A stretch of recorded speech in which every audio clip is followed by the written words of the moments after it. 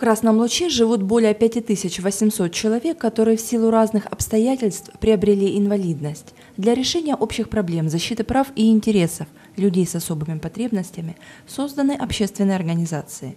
Их несколько в нашем городе.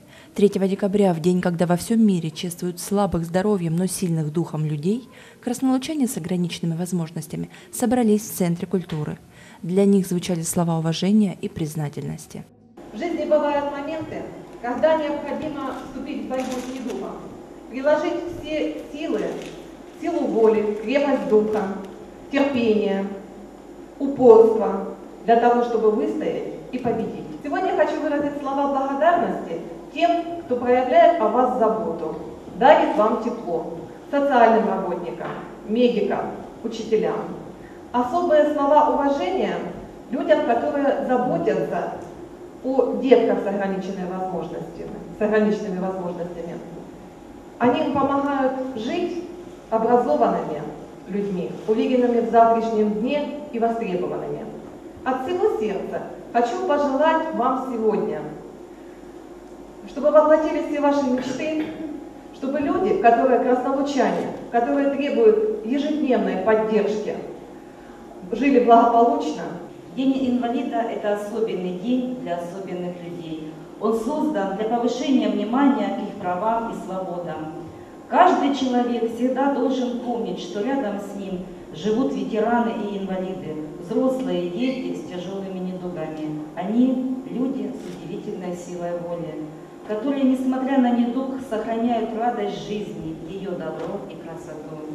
И есть немало примеров, подтверждающих это. Инвалиды занимаются спортом, творчеством, добиваются высоких результатов. Огромная благодарность вам за стойкость, за пример, который вы подаете нам. Разрешите мне по поручению Президиума Краснолыцкого городского совета ветеранов от имени почетных граждан нашего города, от имени депутатского корпуса нашего города Красный Луч и от себя лично пожелать вам крепчайшего здоровья, дальнейших успехов во всех ваших общественных мероприятиях, крепчайшей жизни хорошей, мира, благополучия на нашей Донбасской земле. Давайте жить, трудиться так, как вы трудитесь в своих общественных организациях, и еще крепче быть с городским советом ветеранов. Низкий вам поклон от старшего поколения.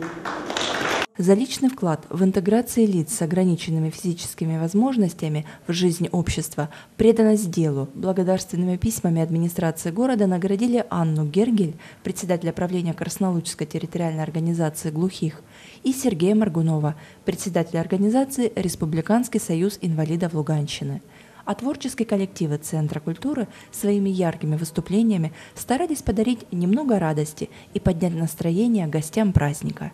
Ведь иногда просто добрая улыбка и дружеское участие могут сделать человека счастливым.